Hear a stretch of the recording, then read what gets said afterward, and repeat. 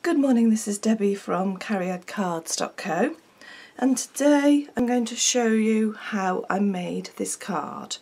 Um, hopefully you can see there's a quilting effect that I've produced on the background. Very, very easy technique to do, but it just adds something a little bit different to many cards that you see. So, as ever, I use a 6 by 6 inch card blank that I just buy in a pack. I've got pink pirouette card here and I cut that to 14 centimetres by 14 centimetres and I always forget the imperial measurements for that. Oh goodness me I've got the metric side here, let's just turn that over. I just turned it over as this side was a little bit grubby but never mind. Okay, six and a no five and a half inches by five and a half inches and a piece of Whisper White card 13.5 centimetres by 13.5 centimetres or 5 and a quarter inches by 5 and a quarter inches. I will put all of the measurements on my blog so don't worry. So put that aside for now because we don't need that until nearly at the end. So we're going to start off by doing all of these little bits and then I'll finish off by doing the quilting. To make the banners, I've used Stampin' Up's banner framelits dies and they come in a set with all of the different sizes which makes it very easy to create banners and I'm pretty sure those are the sizes that I use. That, that's the one and that one. Oops, should have left them out shouldn't I? And then I got a piece of pink pirouette card, cut the larger one out, and run it through the die cutting machine and then, oh my goodness, I'm struggling to pick things up this morning. So that's what I ended up with. And then a piece of Whisper White card that I cut the next one out with and I ended up with that. So then if you can see on here I've put two embossed lines just on the white card.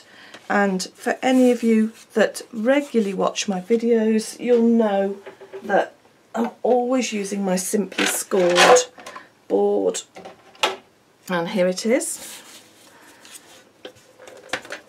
So I'll bring that in. All I did was turn it the wrong way. When you when you cut things you tend to end up with a right and a wrong way, just a slightly neater edge. So turn it so that the right side is facing down, pop it into the top left hand corner so it fits snugly. Use your simply um, scored embossing stylus that comes with your board.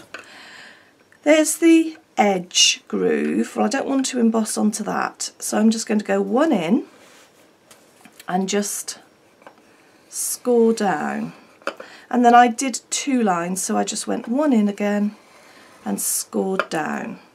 Now I tend to struggle at the very edge here but I can't turn it round because of the point so I can't line it up so I will just have to manage. Um, so again not right at the edge, the first notch in, the first eighth of an inch and the second notch in. There you go and you've got your two embossed lines. I do need this again in a minute, but I'll just pop it out of the way for now. So I'm going to just put those together using some dimensionals. So I'll start building pieces of the card as I go along. Now, when I lay that over, all perfect angle sizes. Here I've covered the top edge, you can't see it, but if the top edge was showing then you might want to just cut along there so that um, both of them start at the same place or you may want it so that you've got the layered effect like that. Personal preference. So just pop a couple of dimensionals on and then I can put this aside to pick up when I'm assembling the card. We've got the builders in again today. We've nearly finished. We started renovating the kitchen, well where are we? First week of September. It was supposed to be a five week job but it's become one of those jobs where if it can go wrong it will go wrong and um, we're nearly at the end of November and we still haven't finished yet.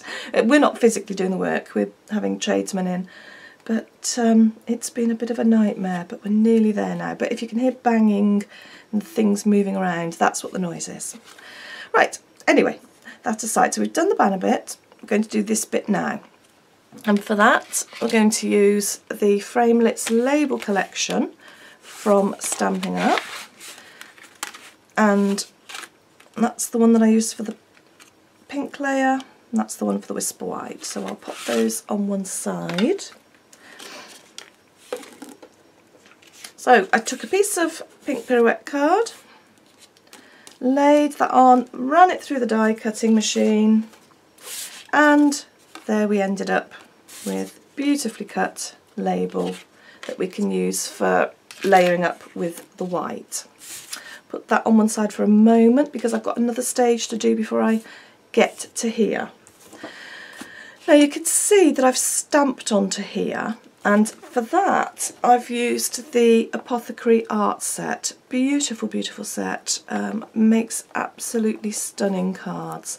You've got this lovely rose garland or wreath effect there and then you've got a slightly more open one here and one that you can write on.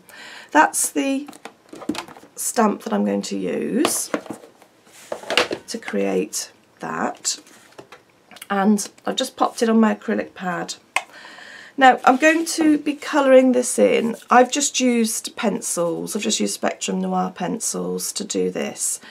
If you're going to use blenders or um, alcohol pens then you really need to be using something like Memento ink uh, because otherwise you run the risk of the ink bleeding.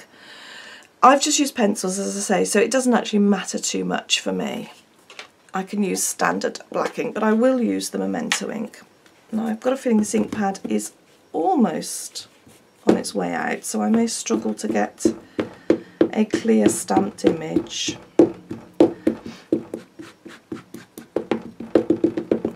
I'll do my best. And as you know, if you watch my videos, I usually stamp onto a foam pad with a bit of paper just to keep the pad nice and clean. I've somehow, oh goodness me, I've managed to get black ink on my fingers and transfer it to the paper. Luckily this is just a demo stamp so it doesn't really matter but I'll have to watch I don't get it onto the card. I'm such a mucky pup.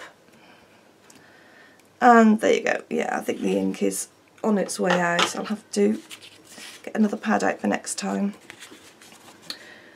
Right, so when I've got that, before I die cut it, I would have coloured that in. I'm not going to sit here and colour it in. You all know how to colour. Um, but I've just coloured it in using various shades of pink, just to make it look a bit more like a bouquet, and two shades of uh, an olivey green. So I've coloured that in and then I've die cut it. So I've used the die, the framelit from the uh, labels collection and then die cut it and ended up with that. So, going to put this together. I'm just assembling all the different parts of the card so that when we come to put it together it will be fairly fast. I do quite like a bit of dimension on this just gives it that extra bit of added interest. Right.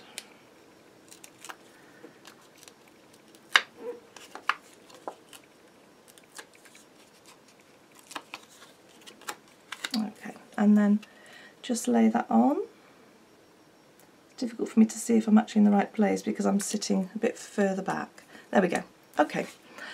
And for this, I have found, even if I use my stamp and my jig, it doesn't matter how careful I am, I struggle, just personally, um, I'm sure other people don't, but I struggle to get the greeting absolutely spot on in there, perfectly straight, perfectly level. I just seem to bodge it a little bit.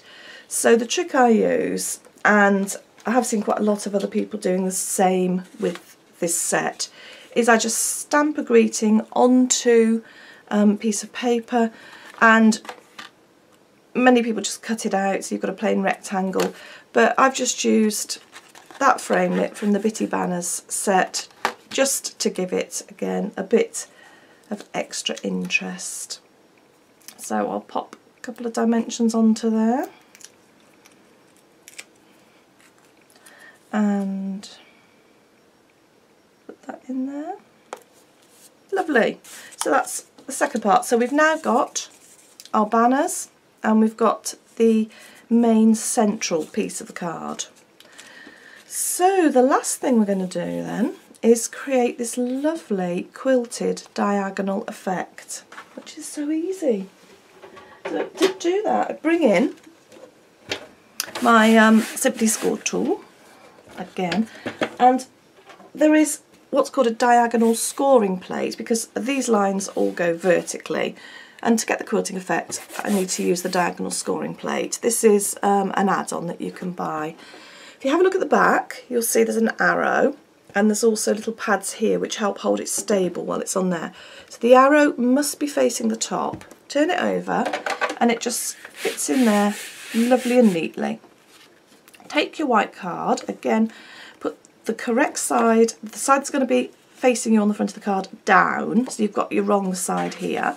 Pop it up into the corner, use your stylus and what I did was look for two inch markers. So I started at four inches and just scored across, two inches, scored across, and then right into the corner, which would be zero inches, scored across, and then coming down here, gosh I am quite far back, I really can't see if I'm in the correct place, two inches, and then four inches, I think that's right, strange when you're sitting behind. Um, normally I tend to stand up to do things like this. Right, sorry, chattering away. That's been scored diagonally, so I turn the card 90 degrees and do exactly the same thing again. So four inches, two inches, and if you want smaller squares, just do it at one inch or one and a half inches. Entirely up to you how big your quilting effect is. I didn't want it to be too busy for this card, so I've just gone at two inch marks. Oops. And it's that simple. How easy was that? And then you've got this beautiful quilted pattern. Right, I'll move this out to the way. And we can start to put the card together. So take card blank. As you know, I'm a real glue aficionado, but you can attach your card in any way that you like. You can use snail, you can use double-sided tape, you can use glue. Any method that you find works for you. I do quite like just having a little bit of manoeuvrability. I don't have that kind of eye where I can put things on perfect the first time. I've got a friend who makes cards and she just always just gets it on absolutely dead straight, dead level. It doesn't matter how many layers she puts on, they just look perfect. But I can't seem to do that. I seem to put everything squiffy. Okay, and a bit of glue around the outside here. Trying not to get it on the paper below. You don't need much in the centre, if any, really, as long as the edges are well adhered. Because if you think about it with double-sided tape you only put them around the edges don't you? Oh you see now I've talked about cards being squiffy. It looks like it to me. Okay so the next thing I'm going to do is put the banner on. So you can see we've got this lovely quilted effect going on there. In fact that would be lovely with just a pretty salutation and a simple flower on. I might have a go at making something like that so I didn't want too much dimension because I have got quite a lot. So I've got dimension there and dimension there. So I just pop that on flat. Bit of glue on there, wonderful glue. And what I was looking for here was getting it so it was near the bottom because I'm going to cover the top edge and I want the banner fairly near to the bottom. So I'm using as much of the card as possible. I think that's fairly straight. Okay. And then this, I can't obviously can't glue this because I've got dimension here. So I need to put some dimensionals to hold this up, but this bit, because this has already been raised, I need to put an extra couple of dimensions here to give it that extra height so it's going to sit flat, otherwise it's going to sit at a slight angle. So I'm just going to put one here. I tend to just test this out. Now I know that bit hasn't been supported, or that bit, so I'm going to put, oh they're all coming off, a lot at a time, put one there, one there and one there. Leave that one there for now, just take off the backing from these three and just pop another one on. And that helps you get the extra height. When you've raised something up that's on something that's already raised because you see this one underneath sort of counteracts the one that's there. It does work, believe me. Okay, pop that on. There you see. Now that's helped, so we've got dimension there, but that's helped support it there. Right, now the only other thing we've got to do is just pop some pearls on, just to give it that quilted look. And I've got, I think these are three millimetre pearls. They look like they're three millimetre pearls. You could use diamantes if you want. Oops, that one's got a life of its own and I'm all fingers and thumbs today. So I just tend to pick mine up on my crafting knife. Um, everybody's got their own way, but I find I can just slice them off, picks up the glue that comes with them, and generally they stick to the crafting knife, but sometimes they do do a little bit of a flick like it did earlier. But generally it's quite controlled. Right, where are we going? Let's go there. And of course if you'd done diagonals at one inch or one and a half inch, then you'd have a lot more pearls on it because you'd have more crisscrosses, wouldn't you? Okay, nearly there. I think just one more in there. I can't see any more. And that's it. You see how simple that was? Yes, there's a lot of stages to it, but none of them are difficult.